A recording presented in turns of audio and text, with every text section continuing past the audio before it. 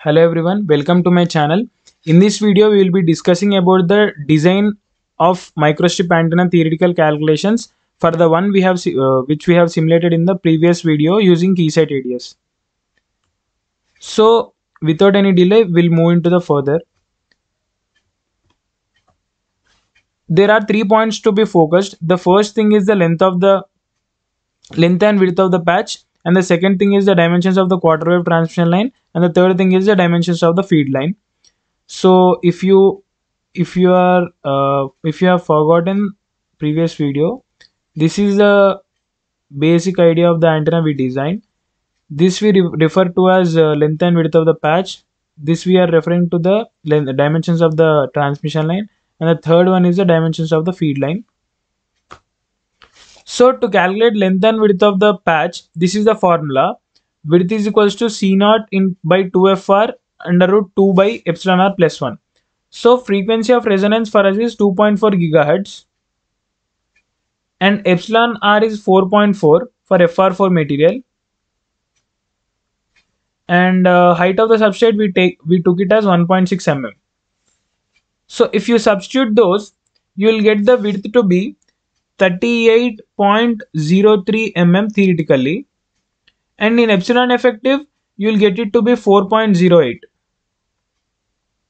so coming to the l effective we have something called as 2 delta l here. What is 2 delta l is if you consider a rectangular uh, patch antenna you have fringe fields along the uh, width of the antenna or height of the antenna so these fringe fields also will contribute to the length of the antenna. This whole thing you call it as L, but actual uh, L effective, effective length of the antenna.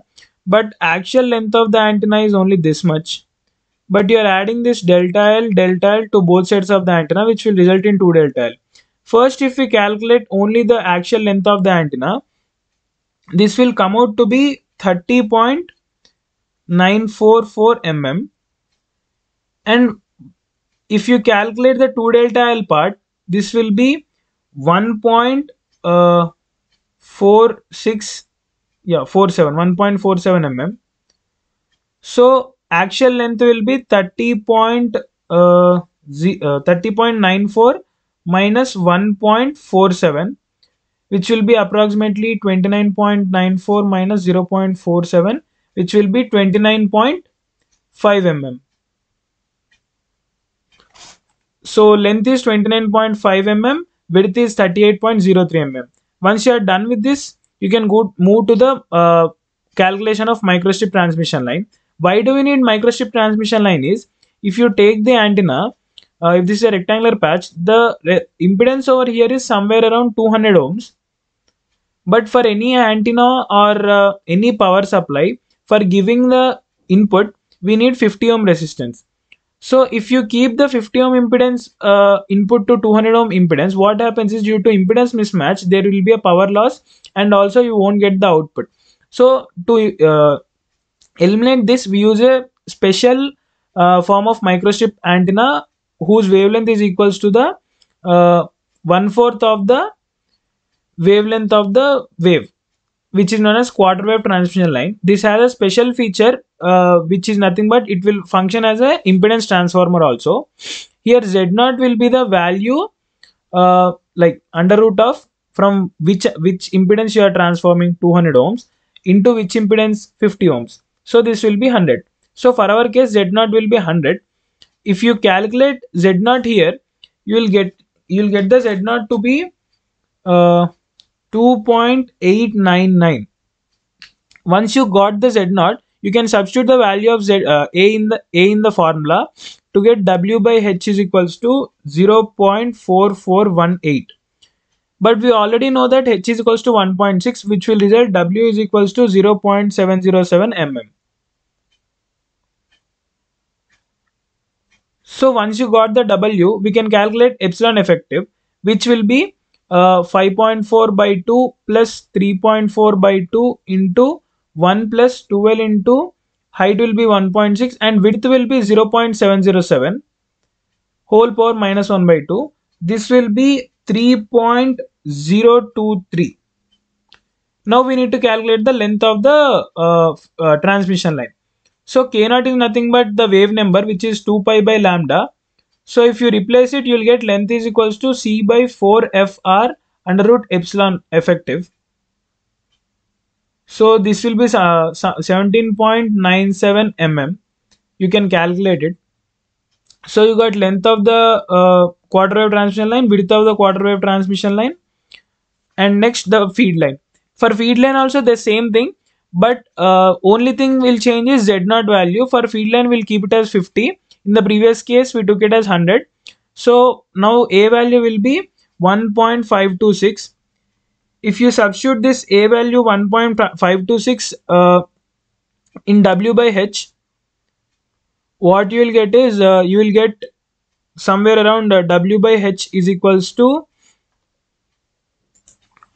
w by h is equals to 1 sorry w by h is equals to 1.83 uh, something.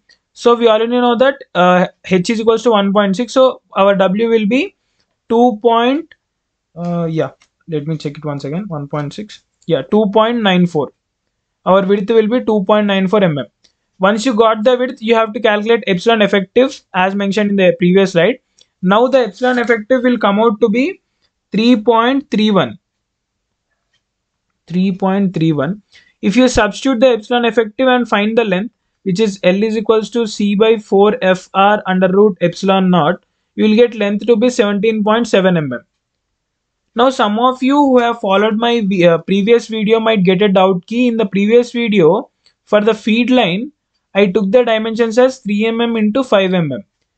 Uh, actually that is also a good practice only. We are reducing the length of the feed line. Even if you reduce the length of the feed line the frequency won't be affected because the frequency will only be affected by the length and width of the rectangular patch itself. Uh, this uh, reducing the feed line will not affect any frequency so you can either keep it to be 17.7 mm or as mentioned in the previous video, you can also keep it to 5, 5 mm. So coming to the final results, let us divide into three parts. Rectangular patch, quarter wave transmission line,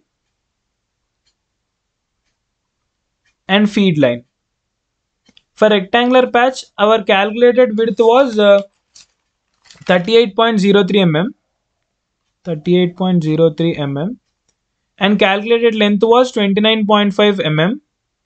For quarter wave transmission line calculated width was 0.707 mm and calculated uh, height uh, sorry length was uh, 17.97 uh, mm. For feed line the calculated width was 2.94 mm and calculated length was 17.7 mm. So these are the theoretical values of the, the theoretical dimensions of the microstrip antenna that we designed in the previous video. Uh, if any one of you have any doubts regarding theoretical calculations can comment below this video. Uh, I'll respond. If you find this video informative and useful, please do share this video with your friends. like the video and subscribe to my channel Tech Talks. Thank you.